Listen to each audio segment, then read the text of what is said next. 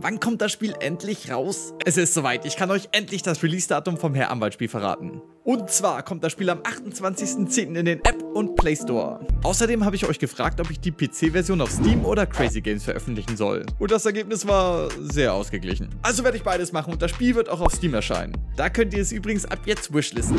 Keine Ahnung, warum da steht, dass es am 27. rauskommt. Ich habe bei Steam den 28. angegeben. Was ist da los, Steam?